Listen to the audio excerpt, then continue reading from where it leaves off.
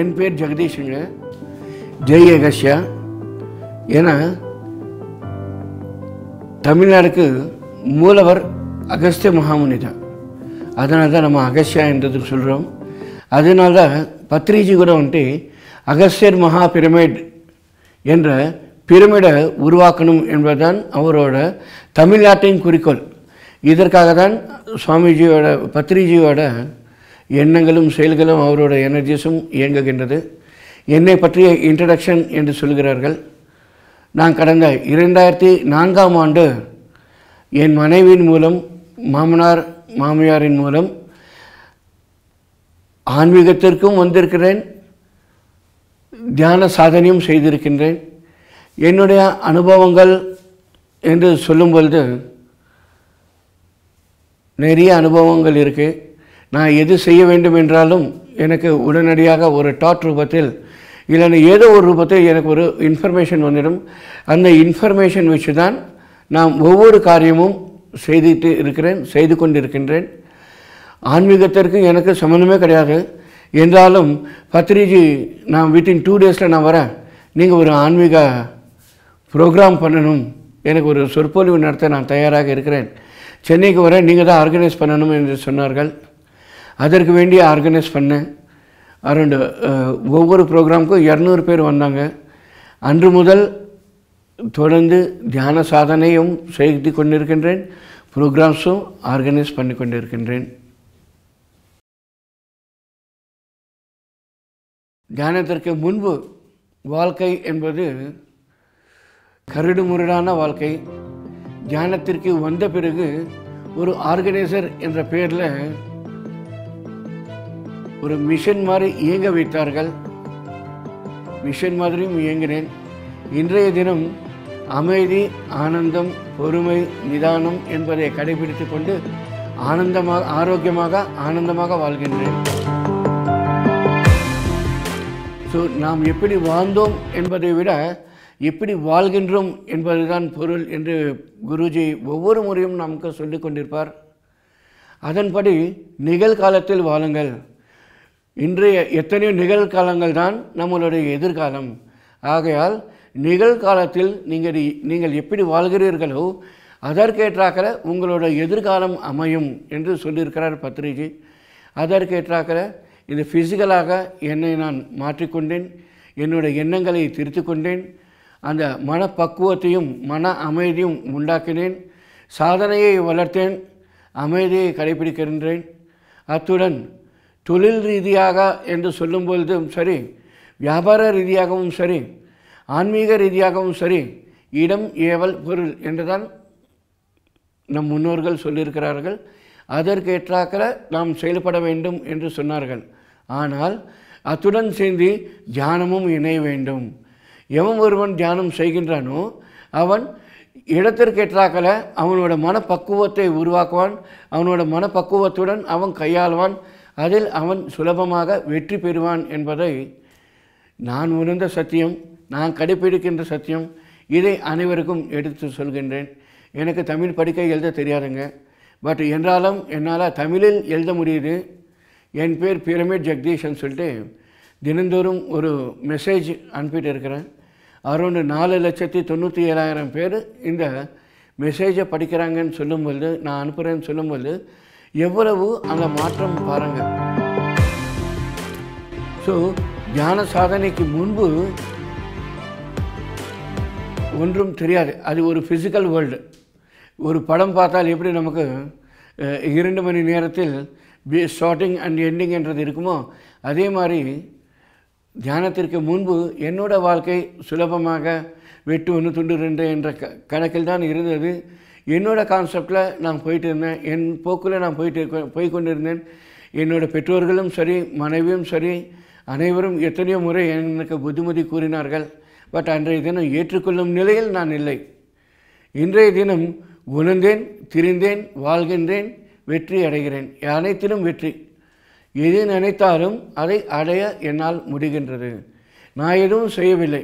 But என்னால் சாதித்து கொள்ள முடிய இதற்கு தெலுங்கில் ஒரு பழமொழி இருக்குது సాధించే సత్తా ఉంటే సమరం ఒక సయ్యాట తల వంచుకు రావాల్సింది பிரதி விஜயம் மனவென்ட ஸோ சாதிக்கும் திறன் இருந்தால் அந்த ஒரு யுத்தம் கூட நமக்கு அந்த ஊஞ்சலில் ஆடும் போல் அது ஒரு ஆட்டமாக இருக்கும் தலை குனிந்து வெற்றி தேவதை என்பது நம்மை அடையும் என்பது அது அதுதான் அர்த்தம் ஸோ சுலபமாக அந்த நிலையை அடைய முடியும் ஞான சாதனையால் ஞானத்தை பெற வேண்டும். ஞான பிரச்சாரம் செய்ய வேண்டும். அனைவரும் எவ்வளவு முடியுமோ அவ்வளோக்கு அவ்வளோ நான் தியான பிரச்சாரம் செய்கின்றேன். மக்களுடன் தொடர்பு கொண்டு இருக்கும் பொழுது எனக்கு நிறைய கேள்விகள் என்பது எழுந்தது. அந்த கேள்விகளின் மூலம் என்னால் இயன்ற வரைக்கும் நான் பதில் கூறிக்கொண்டிருக்கின்றேன் எப்பொழுது நான் பதில் சொல்ல தொடங்கினோ அப்பொழுது என் வாழ்க்கையில் திருப்பம் என்றது ஏற்பட்டது. என்னோட நடைமுறையிலையும் அதை நான் நடைமுறைக்கு கொண்டு வந்தேன். ஸோ அனைவரும் மாஸ்டர்ஸ் ஒவ்வொரு தியானியும் தியான பிரச்சாரம் செய்ய வேண்டும். தியான பிரச்சாரம் செய்யாவிட்டால் உங்களில் மாற்றம் வராது.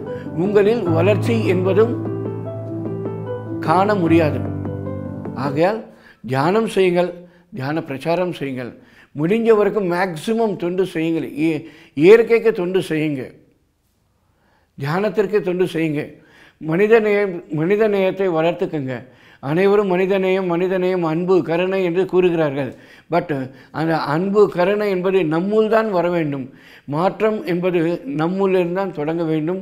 நம்முள்ளிருந்தான் அந்த மாற்றம் வர வேண்டும். நாம் உணர்ந்த இந்த சத்தியத்தை அனைவருக்கும் எடுத்து கூறும் பொழுது அனைவரும் அதை ஏற்றுக்கொள்வார்கள் அந்த மாற்றத்தை உணர்வார்கள். அவர்களின் வாழ்க்கையில் அவர்களும் உயர்வு பாதையை நோக்கி பயணம் செய்வார்கள். இது நான் உணர்ந்த சத்தியம். இரண்டாயிரத்தி நாலு மே மாதம் பதினேழாம் தேதி பத்ரிஜியை காண வேண்டும் பார்க்க வேண்டும் என்ற ஒரு கான்செப்டு எங்கள் மாமியார் ஜோதி மேடம் சொன்னாங்க. அவர்கள் சொன்னதுக்காக நானும் திரு பத்ரிஜி அவர்களை இரண்டாயிரத்தி நாலு மே மாதம் பதினேழாம் தேதி திருப்பதி ஆந்திரா திருப்பதி திருப்பதியில் பத்ரிஜியை சந்தித்தேன். அன்று முதல் இன்று வரைக்கும் பத்ரிஜியுடன் தொடர்ந்து பயணம் செய்து கொண்டிருக்கின்றேன். அன்றைய தினம் பத்ரிஜி என்னிடம் கூறினார் ஒரே வார்த்தை தான் கூறினார். தமிழகமெங்கும் தியானம் பரவ வேண்டும். தமிழகமெங்கும் தியானம் பரவுவதற்கு உன்னுடைய முழு ஒத்துழைப்பு வேண்டும் என்று சொன்னார். கண்டிப்பாக சைரன் சுவாமின்னு சொல்லியிருந்தேன் அப்போது பத்ரிஜி சொன்னார் இது உன்னோட தலையெழுத்து. நீ இது செய்யலைன்னா மீண்டும் மீண்டும் பிறவி எடுப்ப. தியான பிரச்சாரம் செய்துக்கனே இன்னும் நீ மீண்டும் பிறவை எடுக்கணும். அதனால் தியான பிரச்சாரம் செய்தே தீர வேண்டும்னு சொன்னாருங்க. ஓகே சார் நான் செய்ய தயார்? எல்லா மாஸ்டர்ஸையும் வரவைங்க நான் அவர்கள் எல்லாமே வரவழைச்ச உடனே அவங்களோட நான் டிஸ்கஸ் பண்ணிட்டு எப்படியெல்லாம் என்னால் முடியுமோ அந்த அளவுக்கு நான் பிரச்சாரம் செய்ய தொடங்குகிறேன் என்று சொன்னேன். அப்போது தான் பத்ரிஜி சொன்னார் you are the first propagator so தமிழ்நாட்டில் தியானம் பண்ணுறவங்க ஒரு ஐம்பது பேர் இருக்காங்க. பட் ப்ராபகேட்டிங்ன்றது நீங்கள் தான் தொடங்கணும். உங்கள் மூலமாக தான் தொடங்கணும் தமிழ்நாட்டில் வரக்கு என்று சொன்னார். எனக்கு ஆச்சரியமாக போச்சு. என்னை நம்பி யாருமே? என்னை நம்பி என் மனைவி கூட எதுவும் சொல்ல மாட்டாங்க எந்த ஒரு பொறுப்பும் கொடுக்க மாட்டாங்க. பாவம் இவர் அறியாமையில் நம்மளை நம்பி ஒரு பொறுப்பு ஒப்படைக்கிறாரே என்று நினைத்தேன். பட் பத்ரிஜியோட எண்ணங்கள் எப்படி என்றால் ஒருத்தரை பார்த்ததும் அவர்களில் இருக்கும் அந்த திறமையை அவர் உணர்வார். அவரால் என்ன செய்ய முடியும் என்பதை உணர்ந்து அவர் நமக்கு ஒரு பொறுப்பு படைப்பார் என்பதை நான் இன்று உணர்ந்தேன். அன்று எனக்கு தெரியாமல் இருந்தது. இன்று நான் உணர்ந்தேன். அதுதான் உண்மை. பட் uh, ஒவ்வொரு தினமும் ஒரு வெற்றி பாதையை நோக்கி தான் பயணம் செய்தோம். இரண்டாயிரத்தி நான்கில் நாங்கள் பிரச்சாரம் செய்யும்போது பத்ரிஜி நான் நாங்கள் ரெண்டு பேர் தான். டூ வீலரில் நாங்கள் போனோம். ஆட்டோவில் போயிருந்தோம். காரில் சுற்றினோம் ட்ரெயினில் பயணம் செய்தோம். ஃப்ளைட்டில் பயணம் செய்தோம். நாங்கள் இருவரும். அதேபோல் Sri Lanka Malaysia Singapore Indonesia Andaman Tamilagam முழுவதும் நாங்கள் இணைந்து பயணம் செய்துள்ளோம். இணைந்து பிரச்சாரமும் செய்துள்ளோம். என்பதை பெருமையுடன் கூறிக்கொள்கிறேன். காரணம் என்னவென்றால் இன்றைக்கி பத்திரிகையை சந்திக்கணும் என்றாலே கஷ்டமாக இருக்குது அன்றைய தினம் அவருடன் யாருமே இல்லை. தமிழ்நாடு என்றால் பத்ரிஜி ஜெகதீஷ்க்கு ஃபோன் பண்ணுங்கள் நான் சென்னை வந்து இறங்குறேன்னு சொல்லிட்டு அன்றைய தினம் பத்ரிஜி இரண்டாயிரத்தி நாலாம் ஆண்டு பத்ரிஜி பஸ்ஸில் வந்து இறங்குவாருங்க. அந்த மாதிரி ஒரு நிலை. அந்த நிலையிலேருந்து ஒவ்வொரு டெவலப்மெண்ட்டும் நாங்கள் பார்த்து கொண்டு இருக்கின்றோம் ரொம்ப ஆனந்தமாக இருக்கின்றது. அவர்கள் அந்த டெவலப்மெண்ட் சொசைட்டியில் டெவலப்மெண்ட் எங்களிலும் எங்களுக்குள்ளும் அந்த பரிணாம வளர்ச்சியும் ஏற்பட்டுள்ளது. இதை நாங்கள் சொல்லியே ஆக வேண்டும். அதேபோல் பத்ரிஜி இரண்டாயிரத்தி ஏழாம் ஆண்டு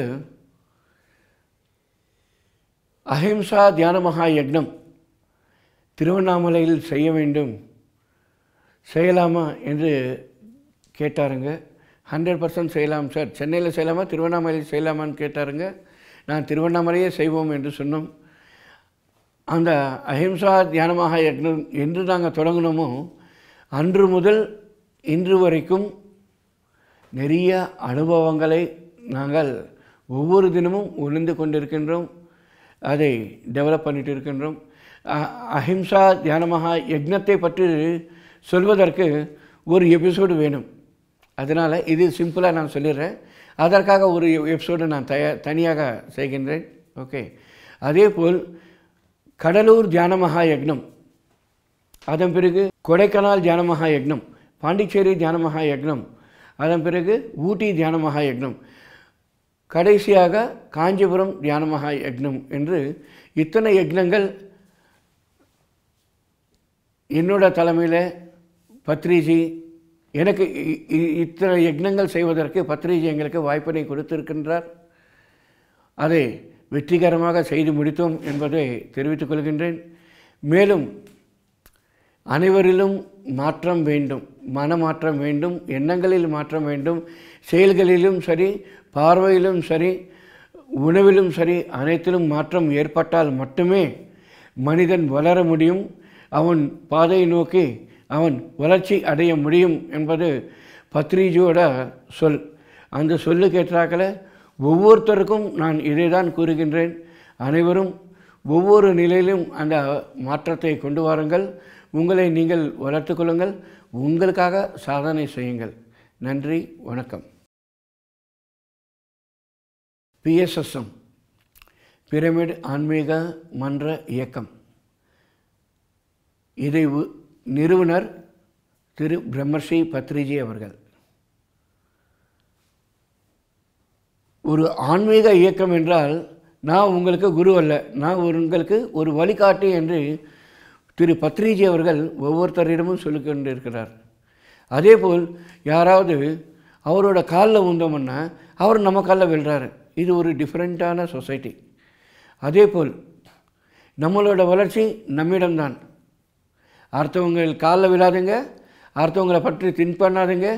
உங்களுக்காக நீங்கள் சாதனை பண்ணுங்கள் உங்களோட வளர்ச்சி வளர்ச்சி உங்களுக்காக. உங்களோட வளர்ச்சி உங்களுக்காக. அதை நீங்கள் தான் அந்த வளர்ச்சியை ஏற்படுத்தி கொள்ள வேண்டுமே தவிர தியானம் செய்யுங்க. தியான பிரச்சாரம் பண்ணுங்கள் மாஸ்டர்ஸ் நிறைய பேர் மாஸ்டர்ஸ் இருக்காங்க. அவங்க அவங்களோட சொற்பொழிவுகளை கேளுங்க. அந்த எண்ணங்களில் மாற்றமும் செயலில் மாற்றமும் பார்வையில் மாற்றமும் ஒவ்வொரு மாற்றத்தையும் உங்களுக்கு நீங்கள் உணருங்கள் அதை நீங்கள் நிறைவேற்றி கொள்ளுங்கள் என்று தான் பத்ரிஜி சொன்னாருங்க. அதே ஒரு எக்ஸாம்பிள் அதுக்கு ஒரு எக்ஸாம்பிள் இந்த நிமிஷம் ஒரு அரை மணி நேரத்துக்கு முன்னாடி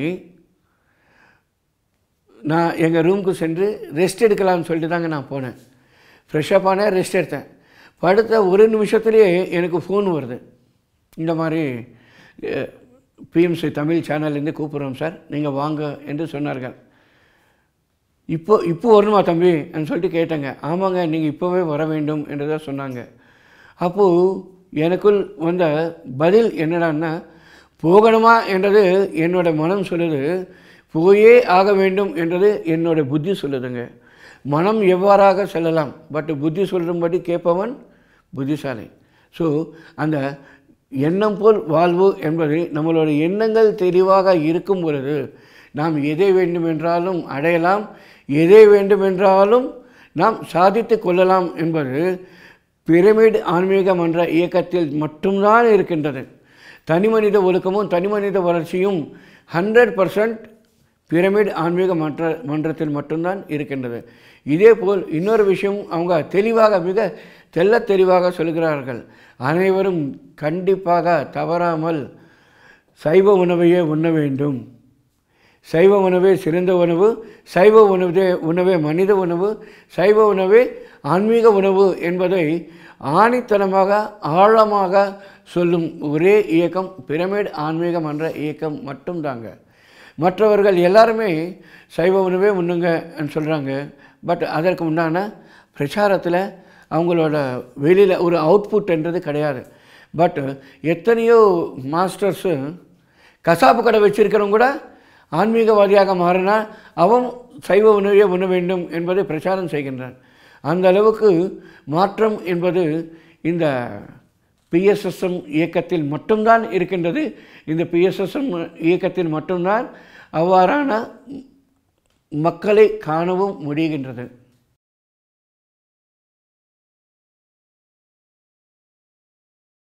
கிட்ட என்னோட ஒரு மனுஷனை பார்த்தாலே போதும். பத்திரிகை எனக்கு பேரன்னா புட்ட கொஸ்டின் வரும் ஏதாவது கொஸ்டின் கேளுங்கன்னு சொல்லி கேட்பாங்க. கேட்கும்பொழுது என் மனைவி இப்படி என் பிள்ளைகள் இப்படி ஏதாவது சொல்ல தொடங்கிட்டோம்னா தி- அது அவங்க கேட்கட்டும் கேள்வி. உன்னோட கேள்வி சொல்லுங்கன்னு சொல்லிட்டு கேட்பாரு. நான் சொல்வேன் உடனடியாக அடுத்த கேள்வி சார் என்னோட பிஸ்னஸ் நோனோ பிஸ்னஸ்ன்றது நீ உழைக்கணும் நீ சம்பாதிக்கணும். அதை என்னிடம் கேட்டால் ப- பலன் இல்லை. புட்ட கொஸ்டின் என்று தான் மீண்டும் கேட்பார் பத்ரிஜி.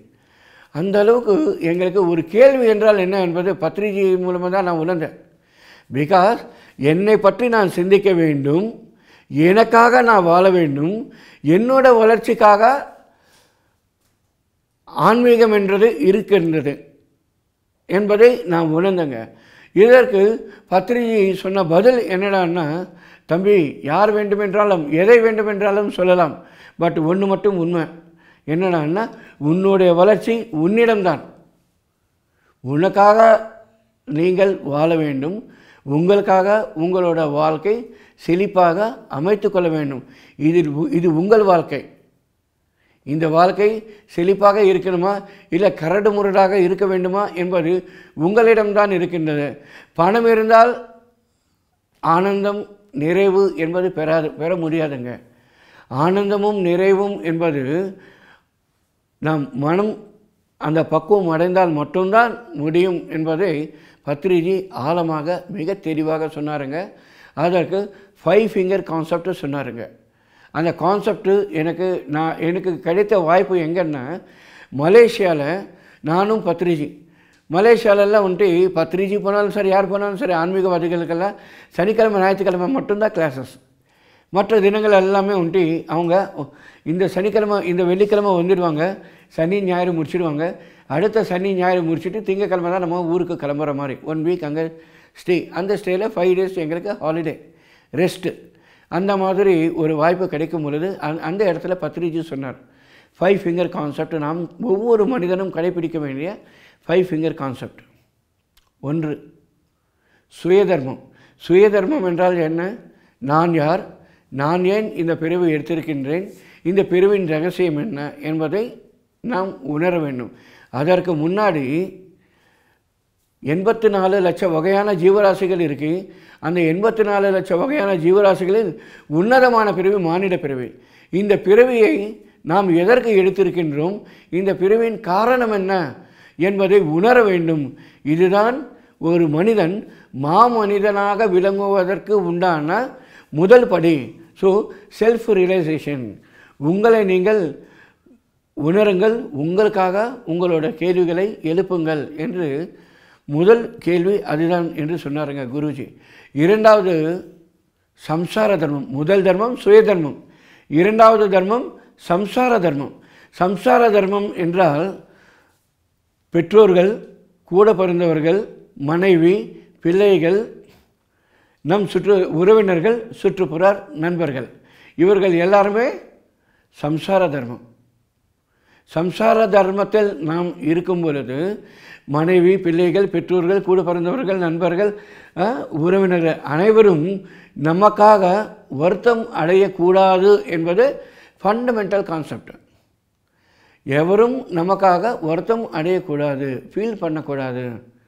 அந்த மாதிரி நம்மளோட செயல்பாடுகள் இருக்க வேண்டும். நம்மளோட வளர்ச்சி பாதை என்பது இருக்க வேண்டும். அதுதான் ரொம்ப முக்கியமான கான்செப்டு ஸோ பெற்றோர்கள் கூட பிறந்தவர்கள் நண்பர்கள் உறவினர்கள் மனைவி பிள்ளைகள் அனைவருக்கும் நியாயம் பண்ணுங்கள் உங்களுக்கு நீங்கள் நியாயம் பண்ணுங்கள் இதுதான் புத்திசாலித்தனமான செயல். இதுதான் ஆன்மீக வாழ்க்கை என்று பத்ரிஜி சொன்னாருங்க. இரண்டாவது. மூன்றாவது. மூன்றாவது தேர்ட் ஃபிங்கர் என்ன சொல்கிறேன்னா தொழில் தர்மம். சுயதர்மம் சம்சார தர்மம் தொழில் தர்மம். ஏனென்றால் சுயதர்மம் செழிப்பாக இருக்க வேண்டும் என்றால் சம்சார தர்மத்தில் நாம் நேர்மையாகவும் நாம் அவர்களுக்கு தேவையானது அனைத்தும் நாம் ஏற்பாடு செய்து கொடுக்க வேண்டும். அது நம்மளோட கடமை. அந்த மாதிரி இருக்கும்போது தொழில் தர்மம் செய் இருந்தால்தான் சம்சார தர்மத்தில் நாம் முழுமையடைய முடியும். சுய தர்மத்தில் நாம் செழிப்பாக வளர முடியும் என்பது பத்ரிஜி எனக்கு சொன்ன மூன்றாவது தேர்ட் ஃபிங்கர் கான்செப்ட் ஸோ தொழில் ரீதியாக நாம் தெளிவாக இருக்க வேண்டும். ஒவ்வொரு தினமும் சுயதர்மம் சம்சார தர்மம் தொழில் தர்மம். தொழில் ரீதியாக செழிப்பாக இருக்க வேண்டும் தெளிவாக இருக்க வேண்டும். பிறரை நம்பி நாம் ஏமாற்றம் அடையக்கூடாது. உங்களுக்காக உங்களோட வளர்ச்சிக்காக உங்களோட ஃபேமிலி வளர்ச்சிக்காக நீங்கள் தொழில் செய்து பணம் சம்பாதித்து சொசைட்டிக்கும் செலவு பண்ண வேண்டும் சம்சாரத்துக்கும் செலவு பண்ண வேண்டும். நீங்கள் தியானம் செய்தால் மட்டும் போராதுங்க தொழிலையும் நீங்கள் வலிமை பெற வேண்டும். அதன் மூலம் சொசைட்டிக்கு கூட உதவ வேண்டும். உங்கள் சம்சாரத்துக்கும் உதவ வேண்டும். அப்போதுதான் சுயதர்மம் என்பது செழிப்பாக அமையும் என்பது பத்ரிஜி சொன்ன தேர்டு கான்செப்ட்டுங்க நான்காவது கான்செப்ட்டு என்ன சொன்னாருன்னா சுயதர்மம் சம்சார தர்மம் தொழில் தர்மம் சமுதாய தர்மம். சமுதாய தர்மம் என்பது மிகவும் முக்கியமானது. இந்த சமுதாய தர்மத்தில் நாம் தெரிஞ்சிக்க வேண்டியது ஹண்ட்ரட் பர்சன்ட் இருக்குங்க. காரணம் என்னென்னா எதை நாம் உணர்ந்தோமோ அதை அனைவருக்கும் எடுத்து சொல்வதுதான் சமுதாய தர்மம் என்று பத்ரிஜி சொன்னார். எதை நாம் உணர்ந்தோமோ இப்போது A to Z A to செட்னா ABCD இருபத்தாறு எழுத்துக்கள் இருக்குது இந்த இருபத்தாறு எழுத்துக்களில் நம்ம ஏபிசிடி மட்டும் தெரிஞ்சுக்கிட்டோம்னா அந்த ஏபிசிடி மட்டும் எடுத்து சொல்லுங்கள் அடுத்தவனுக்கு எடுத்து சொல்லிக்கிட்டே இருங்க. எதை நீங்கள் உணர்கிறீர்களோ அதை எடுத்து சொல்லிக்கிட்டே இருங்க. நீங்கள் சுலபமாக சமுதாய தர்மத்தில் இருப்பீர்கள் வளர்ச்சி அடைவீர்கள் என்று சொன்னார்கள். தியான தமிழ்நாடு தியான சென்னை தியான தமிழ்நாடு தியான பாரத் தியான ஜகத். இது பத்ரிஜியோட கான்செப்ட் தியான சென்னை தியான தமிழ்நாடு தியான பாரத் தியான ஜகத்.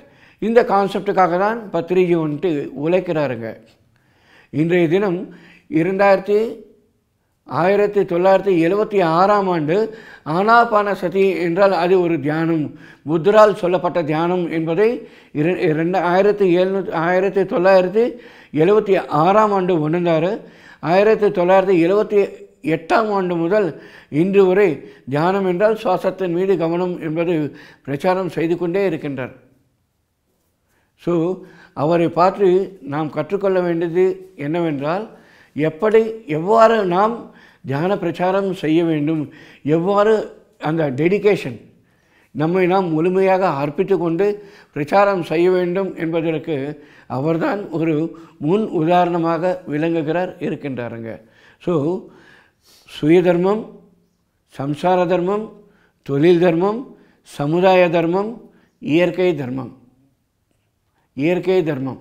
இயற்கையுடன் ஒன்றிணைந்திருப்பது தான் தியானம். இயற்கையுடன் நாம் ஒன்றிணைந்திருப்பது தான் தியானம். ஸோ இந்த இந்த இயற்கையில் இருக்கும் அனைத்தும் நம்முள் இருக்கின்றது என்பது நாம் உணர வேண்டும். இயற்கையில் இருக்கும் அனைத்து சக்திகளும் நமக்குள் இருக்கின்றது. இயற்கையில் இருக்கும் அனைத்து வல்லமைகளும் நாம் அதை வளர்த்து கொள்ள இயலும் வளர்த்து வளர்த்து கொள்ள முடியும். பட் சாதனை செய்யுங்கள் சாதித்து கொள்ளுங்கள். சாதனையால் மட்டும்தான் நாம் அதை செய்ய முடியும். இரண்டாவது இயற்கைக்கு மாறாக நாம் எதுவும் செய்யக்கூடாது. இயற்கை மரங்களுக்கு நாம் மரங்கள் வளர்க்க வேண்டும். இயற்கை என்றால் பஞ்சபூதங்கள். இந்த பஞ்சபூதங்களுக்கு மாறாக எவன் ஒருவன் செயல்படுகின்றானோ அவன் கண்டிப்பாக தண்டிக்கப்படுவான். இன்றைய தினம் பாருங்கள் கொரோனா வந்தது. கொரோனா அடுத்து ஒமிக்ரான் வந்தது. ஒமிக்ரான் அடுத்து பிமிக்ரான் வரும். பிமிக்ரான் அடுத்து வேறு ஏதாவது வரும். பட்டு சாதனையாளருக்கு எதுவுமே வராதுங்க. ஹாப்பியாக இருக்கும். பிகாஸ் எவன் ஒருவன் தியான சாதனை செய்கின்றனோ அவனுக்கு அவனிடம் என்ன இருக்குங்க? நோய் எதிர்ப்பு சக்தி இருக்கின்றது. அந்த ஞானம் இருக்கின்றது.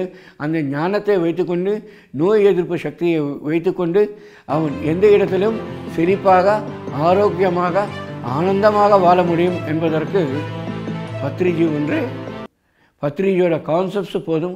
பத்திரிகையோட போதனைகள் போதுங்க. அந்த அளவுக்கு நாம் வளர்ச்சி அடைய முடியும். உங்களை நீங்கள் நம்புங்கள். உங்களுக்காக சாதனை செய்யுங்கள். பிஎஸ்எஸ்எம் பிரமிடு ஆன்மீக மன்றத்தில் இணையுங்கள். பிரமிடு ஆன்மீக மன்றத்தின் கோட்பாடுகள் பதினெட்டு சூத்ராஸ் இருக்குது அதை நீங்கள் கடைபிடியுங்கள். உங்களுக்காக சாதனை செய்யுங்கள். உங்களுக்காக பிரச்சாரம் செய்யுங்கள். உங்களோட உங்களோட கஷ்டங்களையும் நஷ்டங்களையும் அனைத்திலிருந்து விடுபட்டு ஆரோக்கியமாக ஆனந்தமாக வலிமையுடன் வலிமையான சமுதாயத்தை உருவாக்குவோம். நண்பர்களே நன்றி வணக்கம். பிஎம்சி தமிழ் நேயர்களுக்கும் அனைத்து தியானிகளுக்கும் ஆன்மீகத்தை பற்றி ஆன்மீக தேடல் இருப்பவர்கள் அனைவருக்கும் இந்த பிஎம்சி தமிழ் சேனல் என்பது ஒரு மிகப்பெரிய வரப்பிரசாதமாக அமைந்திருக்கும் என்பதை நான் நம்புகின்றேன். இந்த பிஎம்சி தமிழ் சேனலின் மூலம் புது புது நபர்கள் எத்தனையோ பேர் வந்து இதில் பயனடைந்திருக்கின்றனர் என்பதை எங்களிடம் கூறும்போது எங்களுக்கு ரொம்ப ஆனந்தமாக இருக்கின்றது. ஆகையால் மாஸ்டர்ஸ் நீங்கள் அனைவரும் தியானம் செய்யுங்கள். பிஎம்சி சேனல் பாருங்கள். பிஎம்சி சேனலை அனைவருக்கும் இந்த பிஎம்சி சேனலை பற்றி எடுத்து கூறுங்கள். சப்ஸ்கிரைப் பண்ணுங்கள். சந்தாதாரர் ஆகுங்கள் நன்றி வணக்கம். தியானம் ஆன்மீகம் பிரமிட் ஆற்றல் சுவாத்தியாயம் சைவ உணவின் மகத்துவம் பற்றிய தகவல்களை அறிந்து கொள்ள பிஎம்சி தமிழ் சேனலை கண்டு மகிழுங்கள். இந்த வீடியோவை ஷேர் மற்றும் சப்ஸ்கிரைப் செய்யுங்கள். தொடர்ந்து வரும் வீடியோக்களை பார்க்க கீழே உள்ள பெல் ஐகானையும் கிளிக் செய்யுங்கள்.